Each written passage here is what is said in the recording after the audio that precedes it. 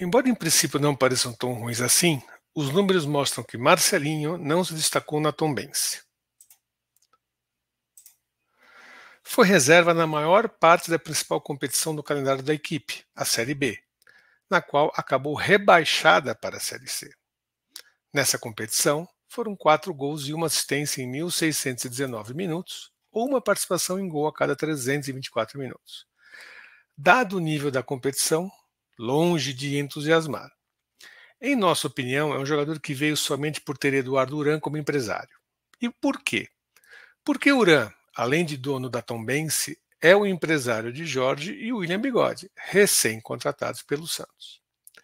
Não vemos Marcelinho sequer em condições de compor o elenco. De todas as contratações efetuadas nesta virada de chave relâmpago para 2024, essa é a mais polêmica. Isso para dizermos o mínimo.